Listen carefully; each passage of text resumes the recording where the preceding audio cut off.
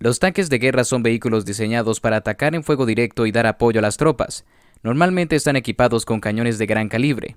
En el video de hoy veremos todos los tanques de guerra operados en América Latina, parte 2. Empecemos. Tanque argentino medio.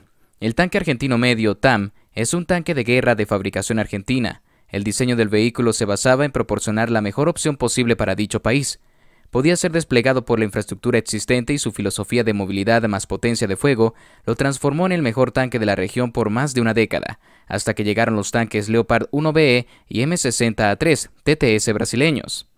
El TAM está equipado con un cañón FMK.4 de 105 mm, que fue producido bajo licencia por la fábrica militar de Río Tercero, con un peso de 2.350 kilogramos.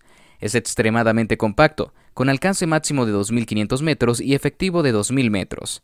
Dispone además de una ametralladora coaxial de 7,62 milímetros y otra del mismo calibre dispuesta sobre el techo de la torre con 6.000 disparos en total. Granadas para los morteros de 88 milímetros en baterías de cuatro tubos en cada lado de la torre diseñados por Webman GmbH y producidos bajo licencia en Argentina. SK-105 Cuirassier. El Cuirassier es un cazacarros de origen austriaco, que se incorporó al ejército argentino en 1981 las características del vehículo hacen que sea considerado un destructor de tanques y suele utilizarse para acciones de apoyo en combate. Argentina cuenta con 106 blindados en la versión A1 y 14 de la A2, que fueron adaptados en los años 80. Cuenta con un cañón de 105 mm, dos ametralladoras ligeras MG-74 de 7,62 mm, una coaxial al cañón y otra antiaérea. M41 Walker el ejército uruguayo opera en el M41 Walker. Las primeras unidades arribaron a Uruguay en octubre de 1980, cuando el buque de bandera uruguaya Estrella del Mar descargó 22 de estos tanques ligeros en el puerto de Montevideo.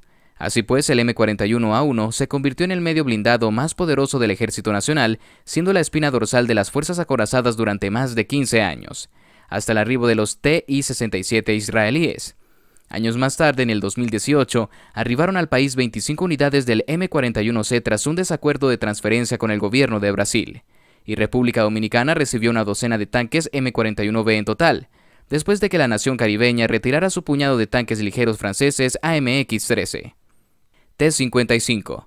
Perú y Nicaragua poseen el tanque más longevo en estado operacional de América Latina, el carro T-55 fue el tanque de combate estándar de las unidades blindadas del ejército soviético durante el Pacto de Varsovia. En el ejército peruano inicialmente tenían un blindaje de 99 milímetros con un cañón de 10T de 100 milímetros y una ametralladora coaxial de 7,62 milímetros con 3.500 cartuchos. Tras diversas modificaciones para mantenerlo activo, el ejército peruano tiene como tanque de batalla principal al T-55 en las variantes León 1 y León 2 con 280 unidades activas mientras Nicaragua desde 1982 comenzó a recibir los tanques T-55, contando en 1984 con aproximadamente 66 blindados de este tipo.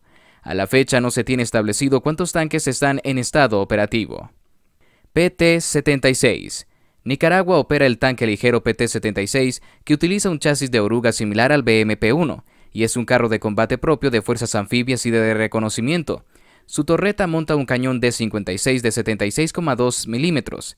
Al igual que el BMP-1, el PT-76 tiene una coraza ligera que solo protege contra armas cortas. Ambos vehículos forman dan por una formación ágil y ligera, además de letal particularmente en el teatro centroamericano. TI-67 en 1997, el gobierno de Uruguay adquirió 15 unidades del viejo carro de combate Tiran 67 con un cañón de M67 de 105 milímetros, con mejoras en el blindaje, un nuevo sistema de comunicaciones y más contenedores externos. La entrada al servicio de este blindado se remonta a 1960, cuando Israel incorporó a su ejército una primera unidad, armada también con una ametralladora de 7,62 milímetros. Con más de 60 años de existencia, Israel también lo sigue operando en versiones más avanzadas. Y bueno, garras, hemos llegado al final. No olvides de seguirnos y dejarnos un buen like. Hasta la próxima y que Dios los bendiga.